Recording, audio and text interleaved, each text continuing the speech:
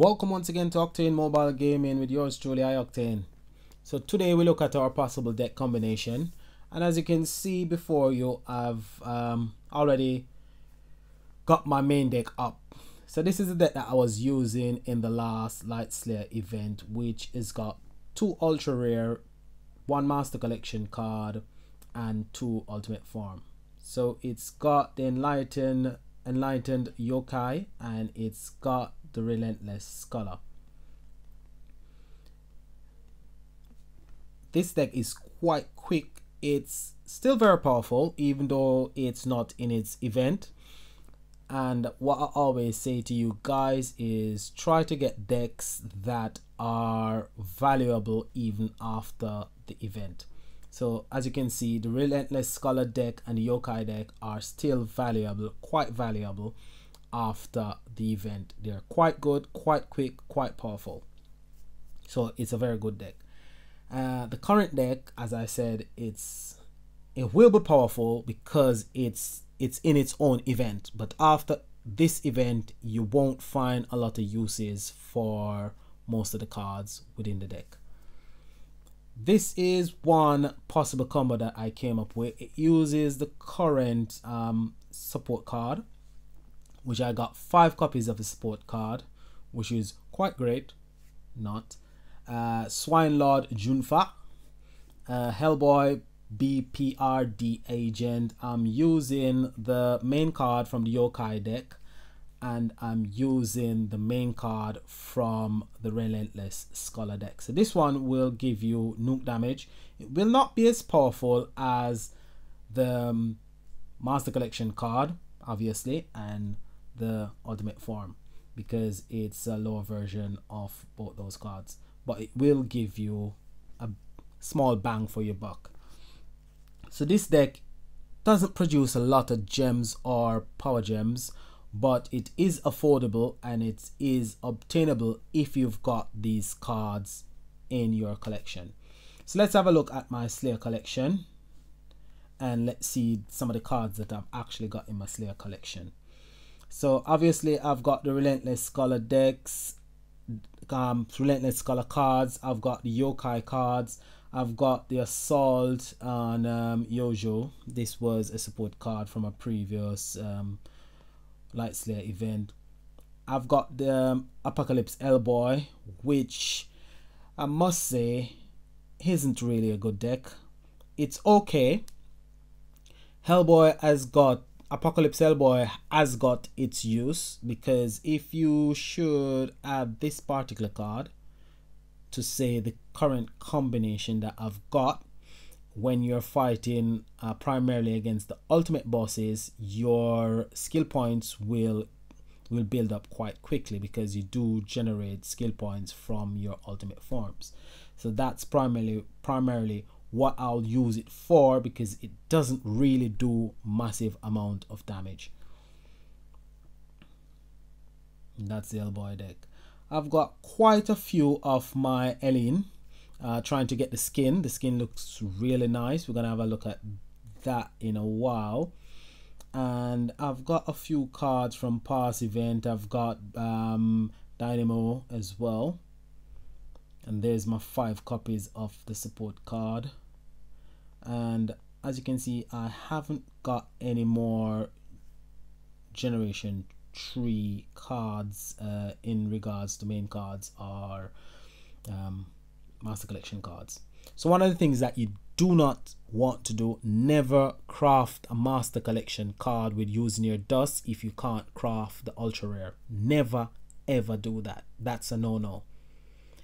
If you've got say 27,000 um, Master Collection dust, and you can craft the current Master Collection card, but not the ultra rare.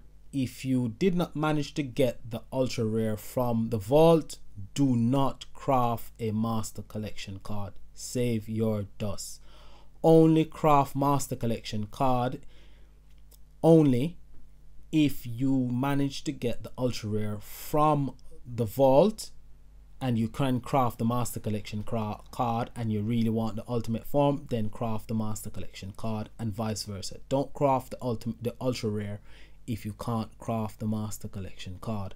And only use your dust to get to craft Master Collection card and Ultra Rare for decks that are useful. So that's my little tip.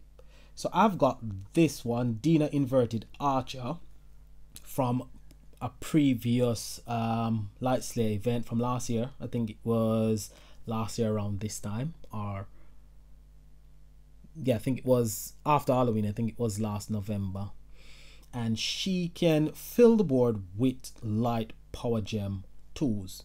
The problem with this card is its intensity dependent, so it won't work in the current meta. So the current meta, uh, you don't want to be going over three turns you need to get the bar the boss down before the third turn. Two two turn decks are the best. The um, Relentless Scholar deck is a one turn deck if you've got four Master Collection cards. So if you got four Master Collection card, it can be a one turn deck. If you only got one Master Collection card like myself, then you have to add another deck to it to actually get the best out of the deck. So I've got this one, which is a Master Collection card as well from uh, 18 months ago. That produces power gems based on the amount of gems on the board. That won't work either. You got the, um, the Goblin deck. That won't work either. You've got the Gemfall deck, which is the Stellar Hound. That won't work either. So a lot of these cards are utility cards. One of the things that you could do if you're a free to play players and you haven't got uh, a lot of cards in your deck or you're a new player and you've got this card Danielle or if you manage to get the master collection card for that deck from the last season Amy then you could create a deck that relies on two cards that will not do a lot of damage but they do produce a lot of gems so the two cards that I'm talking about are actually wardens. Well, it's actually one card, but I've got more than one copy. This warden is called Indale. Indale Dark Star. And what Indale does, Indale actually creates 10 light gems. So what we'll do, we will use the current we use the current support card as our main damage dealer because it will do a bit of damage. And we will use Danielle and Amy as our power gem producers. So all this deck will work it will create rainbow power gems and you have to overwrite those rainbow power gems so to make this deck give me a bit of bang for my buck, I will not use the relics to actually produce the intensity for Danielle and um, Amy. I'll just use Generation 3 relics. So I will definitely put my alien Spear on and I will then put all my Light Slayer relics on it. So I did go into the revival pack and I managed to get two more master collection card for the yokai deck. Really wanted um ultra rare but didn't manage to get a third ultra rare which would have been great. So let's go in to the main arena and see how well we will actually get on using our Amy deck our rainbow deck basically so we're just looking for the Cobalt boss which we haven't got. We haven't really let's try and see what we can do with this one. This person is playing around so let's see if we can actually get the MVP because this deck is quite quick. So this is my main deck and it's quite quick. It's a two turn deck so I've only got the Relentless Scholar on it. So we match our gems, we power up our cards, and we'll just use our battle skill and then the job is done. So the person actually got to it before me. But never mind, I've done 15%, so actually got something out of that. So let's see if we can find the Cobalt boss. So I'm going to use nine keys. And with this deck, you have to activate Amy and Danielle first. So once we have actually powered up all our cards, you don't really, you're not interested to get any intensity because they will produce enough power gems on the board and all you have to do is override as much as much of the power gems as possible and then Bob's your uncle do a bit of damage so as you can see 25 billion damage from your support cards. And what you could do you could swap Daniel out for a second support card just to get a bit more damage going. So we'll swap Daniel out and we use a second support card to see if we can increase the damage output. Obviously your power gem production will go down so it might balance out itself so let's see if it actually balances out itself. Because the power gem production has gone down but you've increased the amount of damage dealers that you've got. So then Amy and then use your two Indale. So there's less power gems on the board. Let's see if that has affected our damage output it has so 15 billion each which give us uh, approximately 13 30 billion. And we were producing 26 billion with one support card when we had Danielle on board. So it's um, you have increased your damage by 4 billion which isn't too bad. An extra 4 billion damage is quite good. So that's that particular combo let's have a look at the next combination that I came up with. So that one was just something that I thought of while. So that's a deck where if you haven't got anything else you could could use that one. But if you've got better cards then you could play around with the combo. The thing that you need to get right with your decks is the synergy. You need to get your cards to work together to get the best result. Because if you've got good cards but they don't work together, then you'll have a lot um a lot of stress actually getting a good damage output. Now this one as you can see is far more powerful. So we can actually kill the boss on one turn while the next deck was killing the boss on the second turn. So it's a bit more powerful. It doesn't produce as much power gem as um, the previous deck but this deck if we add Amy to it would not have the ability to override all those gems on the board so as you can see all my cards on the board produces power gems it's got heal but they don't produce a lot of power gems but the damage output is still quite good.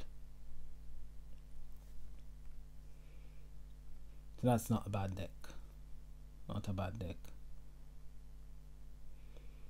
So I haven't got a lot of combination for you today because as you can see I haven't got a lot of cards in my inventory. But as the as time goes on and time progress we will be able to basically get more ultimate forms so what I'm working towards, I'm working towards getting an ultimate form of every um every type. So at the moment, let me see, I've got three ultimate forms. So I've got this one, the yokai deck, which is actually beast, and I've got relentless scholar, which is chaotic. And I've got Hellboy. Can't remember what Hellboy is. Let's have a look at Hellboy and see what Hellboy is and I've got Elbow which is arcane so we're only missing two noble and whatever the next one is I think chaotic no noble. And whatever the next one is it is. So let's talk skin. So as you can see we they've released uh, seven skin. We've got the Elaine which looks quite nice. And then we've got a few more. Savagery overdrive savagery. Then we've got overdrive gorillas that's the hard worn gorillas so i've got the hard worn gorillas i haven't got this one. And which else one? I have got this one. I've got the slasher. And i have got this one. Voltron. So hopefully i can get those skins. Not too bad. They look quite nice. I think skins are a great addition to the game and um, inventory. Uh, these this as well this is a great addition to the game as well but if you haven't got VIP you won't get the next three groups which is a bit of a shame. And uh, I'm not sure I think if you uh, cancel your VIP you actually lose the extra three as well which is pretty bad. Yeah, I've got a video that I need to upload about uh, relics so I've managed to actually get all my um, all my legend relics up to all my legend relics. No let's see generation generation one. So as you can see most of my uh, legend relics are ascended. Just need them to get them to a two pink star. Got two copy I'm trying to get two copy of each. So I've got two copy of the fire two copy of the water two copy of the dark. I just need two copy of Dojin and Elaine Spear and then I'll be set. So the event so far is not too bad. It's not as exciting as last week's event. Didn't get to play much of that anyway.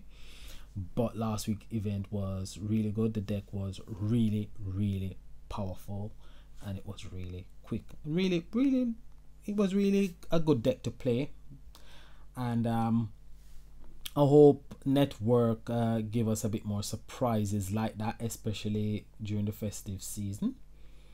Christmas is fast approaching so want to see what they do for Christmas. Want to see if they're gonna give us uh, some giveaways because N3TWORK doesn't really give away a lot. But hopefully this year they'll give us a lot of surprises for christmas. So that's a possible deck combo i've got for you today. No it hasn't been much but see you next time when we see the next deck for next week event which should be a fire commander event. And then we have the fast approaching water slayer event which should be very exciting. So until next time this is iOctane saying peace and enjoy your event bye for now